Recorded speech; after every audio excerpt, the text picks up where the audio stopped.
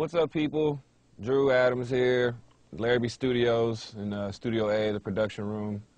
We're going to be uh, tracking Esthero, one of, one of the best songwriters out right now. And we're going to be using the BAE 1073 portable preamp and also the EQ rack mount unit. So, let me check in with her, make sure we're good to go. We're going to let this roll. Esthero, you ready to go? I'm always ready, fool. nice, let's do it. Okay, let's test it out. Feel the world with the way, way you put your arms around me. I close my eyes, melt away, your roller coaster ride, so exciting. Till to the light, you're a beautiful escape. Oh, it's nice. I like, I get all the, cause you like, cause like the grit, the, When you put your arms and the, cause you light to the light. Yeah, you get all that really clear out here. it's good. It Sounds great in here. Nice, nice. All right, let's get let's get a couple more. Okay.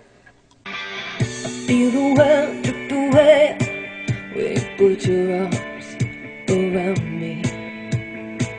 I close my eyes, melt away, your roller coaster ride, so exciting. It's the light of the All right, we're gonna do one more. One more again. Slate it. All right, let's get it. Feel the world drift away when you put your arms around me. I close my eyes, melt away, your roller coaster ride, so exciting. It's the light of the light, you're a beautiful escape. That was, that was a little pitchy. I keep swallowing that cuz. See that? It sounds good. Okay, wanna do one more? Yeah, let's get one more though. Okay. Let her choose the best one. That'll be the one we use. Okay. I Feel the world drift away when you put your arms around me.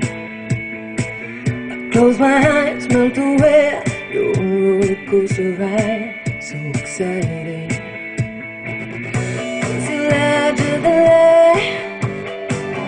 you're a beautiful escape. Good. Thank you, Esthero. Ew, it sounds lovely. Liberty. Did she hear it in here?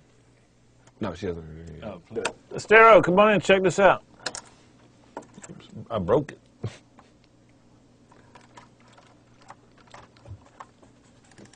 That was great. Thanks. Incredible. Nice. I like the last one she did. Yeah, let's do that. Is that the one you felt comfortable about? Yeah, I mean, I like, I like them them all as far as like Yeah. the perform. I mean, the performances obviously are. I just like the purple colored one. It just looks, the purple color is a nice color. It's nice. Let's check it out.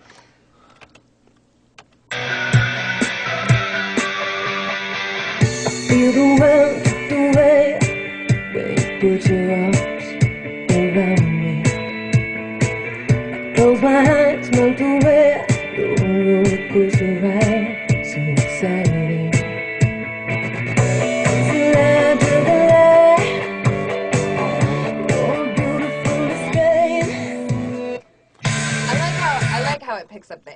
Yeah. Like what it does to the air when I do like That top la, end. da, da, la.